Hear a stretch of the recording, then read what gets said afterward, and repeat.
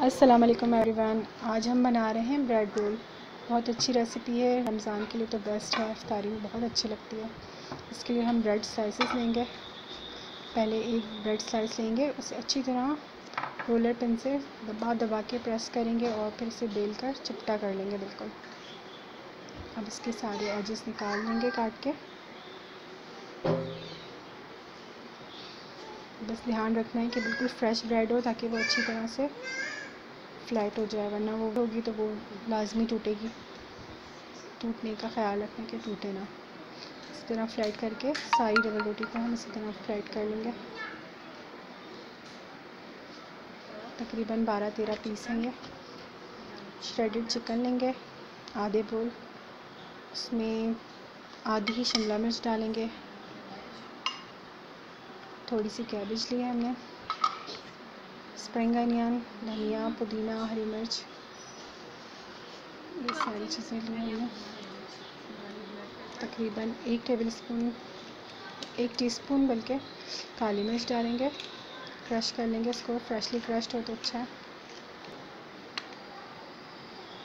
ये लिया हमने chilli sauce one tablespoon मुझे अंदाज़ा है इस से मैं ऐसे ही डाल रही हूँ, आप टेबल स्पून से कर लीजिए। ये सोया सॉस भी वन टेबल स्पून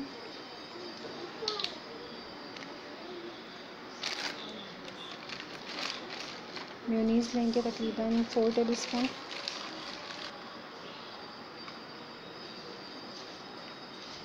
सबको अच्छी तरह मिक्स कर लेंगे. अच्छा सा बैटर बन जाएगा. चिकन को आपको पहले बॉईल करना है, अदरक लहसुन के साथ, नमक और काली मिर्च में हल्का सा बॉईल कर लें और इसको फिर श्रेड कर लेगा. बहुत सी चीज़ों में यूज़ हो जाती है आसानी से। बहुत ही अच्छा मज़ेदार बनेगा ये रोल। इसको थोड़ा सा बैटर रख के अच्छी तरह फोल्ड करेंगे। किसी पानी, किसी चीज़ की ज़रूरत नहीं है। अगर आपकी फ़्रेश डबल रोटी होगी तो ये आराम से इसी तरह हो जाएगी। इसी तरह सारे तैयार कर लेंगे। अब एक अंडा लिया उसे फेंटा। थोड़ा सा दूध डालेंगे अंडे में। और ये लिए ब्रेड क्रम्स पहले अंडे में रोल किया, अब ब्रेड क्रम्स में रोल करेंगे। इसी तरह सारे रोल्स बना लेंगे हम।